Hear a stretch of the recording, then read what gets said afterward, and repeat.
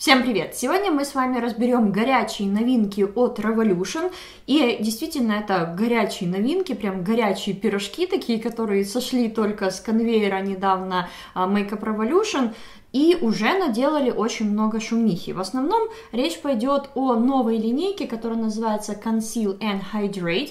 По внешнему виду это может вам напомнить линейку, которая вышла около года назад, которая называется Conceal and Fix. Только та линейка больше подходила для комбинированной жирной кожи, а вот это ответ Revolution на мольбы их фанов о том, что, пожалуйста, сделайте то же самое, только для тех, у кого нормальная или сухая кожа. Я когда увидела, что эти новинки уже доступны в Украине, естественно, сразу же их схватила, потому что очень интересно было это протестировать на моей коже, так как у меня как раз таки суховатая кожа. Но это, кстати, не все. Еще мы с вами посмотрим на новую рассыпчатую пудру от Revolution, а также на маркер для бровей. Но перед тем, как мы с вами приступим, у меня для вас рекламная вставка. Я хочу порекомендовать вам очень удобный сервис для поиска скидок на любые товары celery.ru. Сервис разместил в себе товары всех популярных интернет-магазинов для того, чтобы вы легко и быстро смогли найти скидки на интересующий вас товар. На сайте представлены товары из 2000 категорий, таких как одежда, детские товары, электроника, бытовая техника и другие.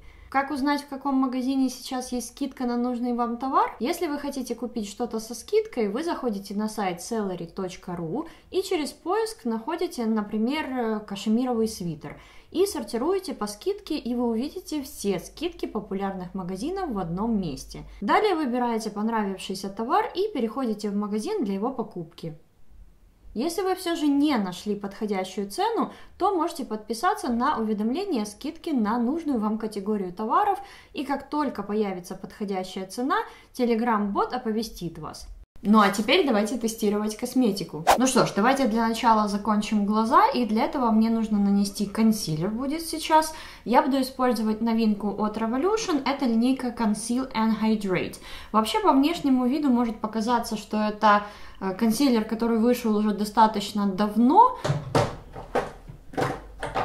вот он, кстати, у меня есть, но это линейка Conceal and Define.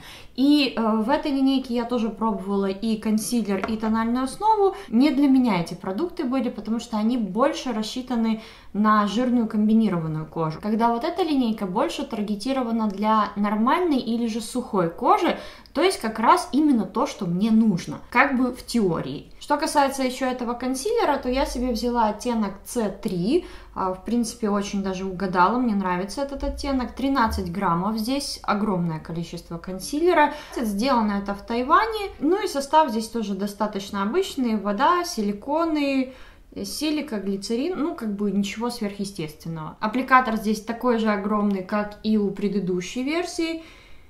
И я буду наносить совсем немного потому что этот консилер, во-первых, имеет достаточно плотное покрытие, то есть в этой линейке они сохранили вот эти основные особенности в плане покрытия, а, в плане того, как это выглядит на лице, но единственная формула, вроде бы, как нам обещали, не сушащую кожу, Хотя сразу вам спойлер, я считаю, у них это не получилось сделать. Огромное преимущество этого консилера действительно в том, что перекрывает хорошо, плюс очень круто сглаживает текстуру. То есть, если у вас есть какая-то не очень приятная текстура в районе нанесения консилера, то этот консилер очень все сглаживает. Такое впечатление, знаете, что фотошопом немножко подправили кожу, и все выглядит гораздо более гладко. Но с этим консилером у меня есть огромное такое но. Он со временем начинает очень сухо выглядеть. Мне даже иногда кажется, что он выглядит более сухо, чем его предшественник, э, который я недавно вам показывала.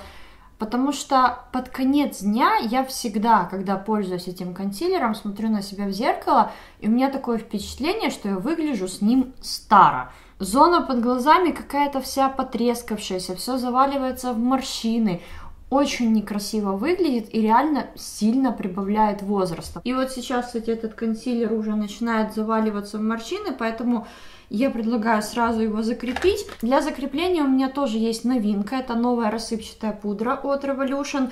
Это из линейки вот именно вот этой матовой Conceal and Fix, но вышла она совсем недавно, называется эта пудра Loose Setting Powder. Я себе взяла оттенок Light Yellow, там есть у них и прозрачная, и также несколько других тоже оттенков у них есть. Я прозрачную не захотела, решила попробовать э, светло-желтую. Здесь тоже 13 граммов. А вообще Вообще на упаковке здесь написано очень много всякого приятного. Без талька, нет флешбека, также водоустойчивая эта пудра. Но в то же время, если посмотреть состав, э, здесь, э, что мне не очень нравится, это алюминиевый крахмал на втором месте в составе. Обычно для меня алюминиевый крахмал не очень хорошо подходит. Он отвечает за то, чтобы средство было очень матовым, но в то же время я заметила, что алюминиевый крахмал мне лично еще сильнее пересушивает. То есть этот консилер сухой, а сверху с вот этой пудрой так получается совсем печалька. Ну и также в качестве консервантов здесь два вида парабенов. Упаковка зато очень красивая, пудра выглядит вот так вот, и когда открываешь, ух, она рассыпается по всему столу и по всем штанам. Здесь, кстати, было бы классно, если была бы какая-то крышечка дополнительная, но ее здесь нет, поэтому, как видите, пудра рассыпается везде. И, кстати, я бы не сказала, что у нее есть какой-то вот именно вот этот желтый цвет, то есть светло-желтый. А на мне она скорее выглядит, наверное, как и прозрачная. То есть я что нанесла, что не нанесла, я не вижу эффекта от какого-то именно цвета. Эта пудра моментально матирует и также очень хорошо блюрит. Вот опять-таки, что касается текстурных проблем, эта линейка очень классная, потому что она реально ну вот прям круто сглаживает кожу. А если сравнить до и после, я вижу конкретную разницу, то есть мне нравится, как выглядит лицо, все такое гладенькое, красивенькое.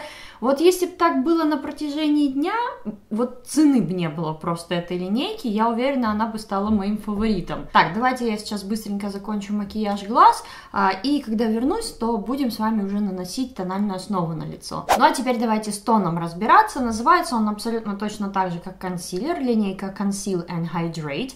А, я себе взяла оттенок F2, и вот оттенок сразу похвалю, потрясающий просто оттенок. Уже давненько не попадался мне настолько подходящий для меня лично тон. Вот он, мне кажется, полностью сливается вообще с тоном моей кожи, ну вы это сейчас скоро увидите. А здесь также написано, что это от среднего до плотного покрытия. Для меня это почему-то стало сюрпризом. Я не знаю почему, я думала, что это более э, легкая формула, но, как видите, они вот сохранили все вот эти особенности вот этой вот линейки, а, как матовая версия, так и вот эта увлажняющая очень плотные. И я бы сказала, что здесь даже не среднее, а такое среднее плюс или плотное покрытие. По объемчику нам здесь ее немножко зажали, потому что здесь всего 23 миллилитра, а что делает ее сразу дороже по сравнению с другими какими-то бюджетными тональными основами, где абсолютный стандарт 30 мл. Срок годности у нее тоже 12 месяцев после начала использования. А сделана она тоже в Тайване, как и консилер. И что касается состава, то состав практически такой же, как и у консилера. То есть Э, достаточно обычный, вода, опять-таки силиконы, глицерин, разные там загустители, усилители текстуры и так далее. Здесь в названии красуется гиалуроновая кислота, за счет чего наверняка они подразумевают, что это более увлажняющая формула, но гиалуроновая кислота здесь практически в самом-самом конце списка, то есть она третья с конца. Соответственно, ее здесь крайне мало, и на какое-то серьезное увлажнение я бы на вашем месте не рассчитывала. Плюс этой упаковки в том, что они наконец-то сделали помпу. В предыдущей версии матовой там такой огромный э, фетровый аппликатор, грубо говоря, консилер в увеличенном размере. А здесь они сделали помпу, и за это от меня получают плюс балл, потому что помпа и стекло это, наверное, самая универсальная и самая любимая для большинства форма упаковки. По своей текстуре тональная основа достаточно жидкая, как видите, она стекает по палитре, ну и давайте же ее наносить. Опять-таки мне сейчас нужно свои ручки держать держать под контролем, потому что Этой тональной основы нужно действительно очень мало, вот прям крайне мало для того, чтобы уже получить результат. Первый раз, когда я пользовалась ею, я нанесла вот как обычно, знаете, так, не жалея, э, чтобы сразу вот так вот хорошо на все лицо распределить. Это был просто ужас. У меня такое впечатление, что у меня вот такой вот слой тона был на лице, просто кошмарно это выглядело, и абсолютно никакие мои манипуляции не помогали. Что я не делала, как я не старалась растушевать или убрать немножко тона с лица, вот ничего не помогало, поэтому лучше добавьте. Вот если вы видите, что где-то вам еще хотелось бы добавить покрытие, или где-то, может быть, там у вас проплешина образовалась, не хватило тона, вот лучше чуть-чуть добавьте, потому что если переборчите, то вид будет вот просто абсолютно отвратительный. Ох, после нанесения она, конечно, очень мне нравится, потому что когда смотрю на себя в зеркало, такое впечатление, что я себе новую кожу натянула на лицо, очень все сгладилось, вот потрясающе просто этот тон работает с текстурой. Реально такое впечатление, что я себе, знаете, наждачкой немножко так пошлифовала, и кожа стала гораздо более гладкой. Вот все поры, все пупырки, все морщины изначально очень красиво сглажены. Покрытие тоже сумасшедшее. Вы видели, что я старалась очень мало наносить. При этом я наносила спонжем, который еще добрую половину впитал из того, что я наносила но при этом у меня даже практически все пигментные пятна перекрылись, то есть еле-еле они там проглядывают сквозь а, тон, обычно они гораздо более заметны у меня на лице, потому что обычно я более легкие текстуры на лицо наношу. И как бы мне не хотелось на этом остановить обзор и сказать, что ну вот, собственно, и все, вот что из себя представляет этот тон. К сожалению, я не могу, потому что для меня, опять-таки, есть один такой же огромный минус, как и у консилера. Через несколько часов после того, как я ее поношу, она начинает заваливаться во все морщины, трескаться в них, очень сухо выглядеть, она начинает и на лбу некрасиво выглядеть, во всех морщинках, и вот здесь вот в носогубке, и вокруг носа тоже на самом носу она тоже начинает как-то как будто немножко как отторгаться и сидеть как будто на поверхности. Не втушевано сидеть, вот как сейчас, сразу после нанесения, а вот такое впечатление, что моя кожа ее немножко выталкивает, такая типа бе. Причем я пробовала разные варианты носки этого тона. Э, я пробовала просто непосредственно перед нанесением хорошо увлажнять лицо, все равно эффект такой же. Я пробовала использовать праймеры, как сияющий, так и просто как бы силиконовый такой разглаживающий. Но вот что не делай, все равно результат один и тот же для меня. Ну и последняя новинка, которую мы с вами сегодня будем тестировать, это маркер для бровей. Называется он Micro Brow Pen. Я себе взяла оттенок Dark Brown. Я что-то замечаю в последнее время, все компании с ума сошли по вот таким вот маркерам в форме граблей или вилки и очень многие выпускают вариации вот такого вот маркера. Я, честно говоря, не очень знакома была с таким форматом, но несколько брендов я уже протестировала.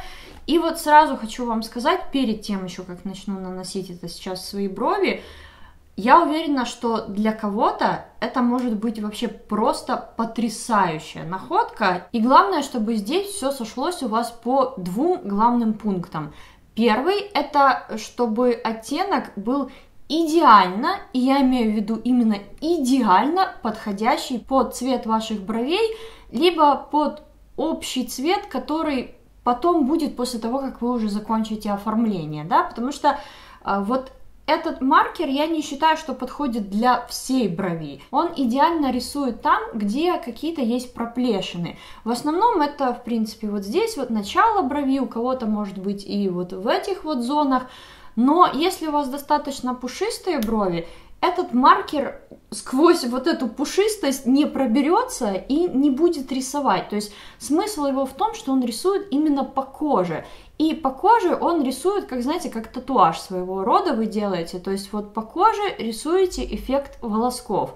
И если оттенок идеально вам подходит, это будет выглядеть действительно натурально и правдоподобно. Если же с оттенком что-то не совсем того, то это будет очень очевидно. И второе, это я уже, в принципе, об этом сказала, этот продукт понравится тем, у кого есть конкретно плешивые места, и кому хочется именно в этих местах сделать такой себе эффект татуажа. Или скорее даже не татуажа, а микроблейдинга. Из всех вот таких вот маркеров, которые мне только доводилось пробовать, вот этот я считаю один из самых неплохих, потому что он действительно насыщенно рисует. Это не что-то такое, что еле-еле, знаете, вы возюкаете, возюкаете, и вроде как цвет появляется, но нет вот этих вот четких линий. Вот эта штука рисует прям четко. Ну и из минусов, которые я могу отметить, это то, что она не рисует по зонам а, где достаточно много волос, из-за чего, в принципе, вы лимитированы отдельными какими-то зонами,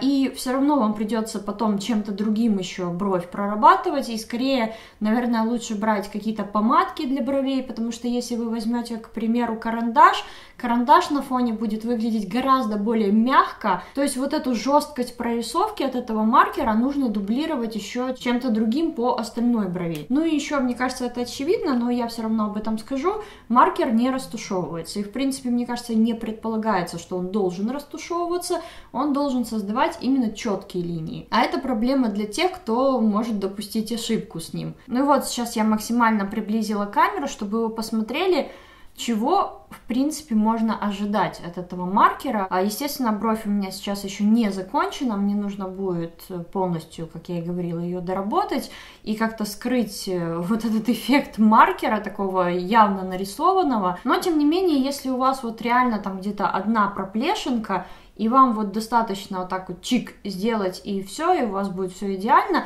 и при этом оттенок будет идеально подходить вам, то мне кажется, это действительно может быть находкой. А что касается этого оттенка, как видите, мне кажется, он слишком красный, для меня. Из новинок Revolution у меня все. Сейчас я быстро закончу макияж и будем с вами подводить финальные итоги. А заключение, знаете, какое мне напрашивается? А, я не считаю, что вот эта линейка, конкретно Conceal and Hydrate, провальная.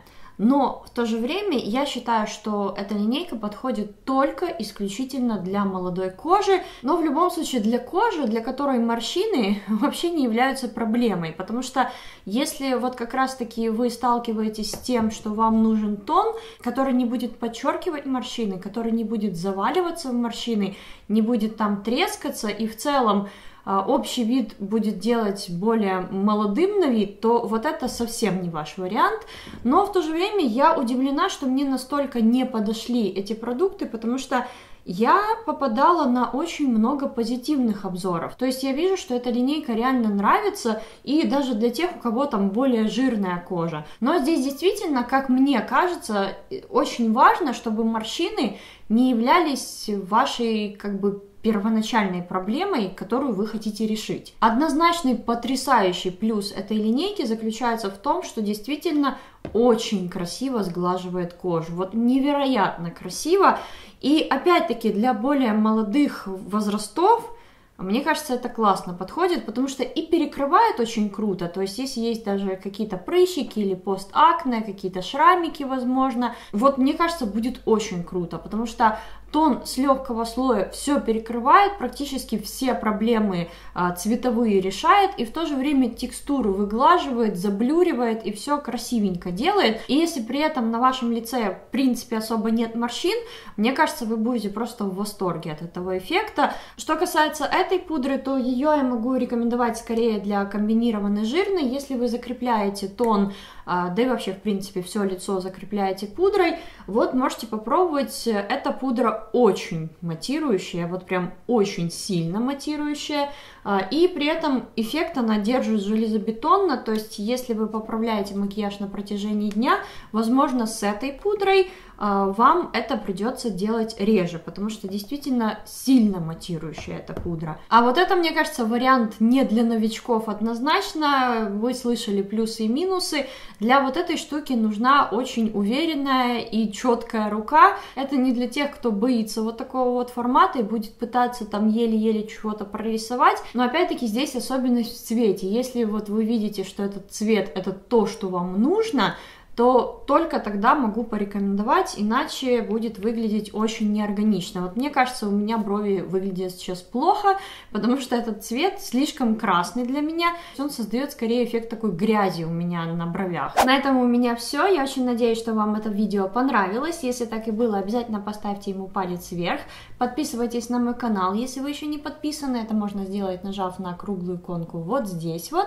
И также YouTube сейчас предлагает вам посмотреть другие мои видео. Если вы их еще не смотрели, обязательно посмотрите. А если смотрели, то мы с вами встретимся в моем новом выпуске через несколько дней.